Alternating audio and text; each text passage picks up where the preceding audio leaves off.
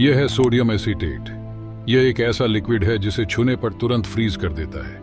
यहाँ तक कि आपके हाथ को भी फ्रीज कर सकता है। इसे आप अपने घर पे भी बना सकते हो। इसे बनाने के लिए 400 ग्राम बेकिंग सोडा और विनेगर को एक साथ अच्छे से मिलाकर एक घंटे के लिए छोड़ दीजिए।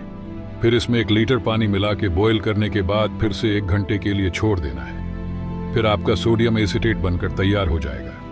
फिर आप इसमें किसी भी ऑब्जेक्ट को डालेंगे तो वह फ्रीज हो जाएगा। आप में से कितने लोग ये घर पर ट्राई करेंगे कमेंट में ज़रूर बताएँ।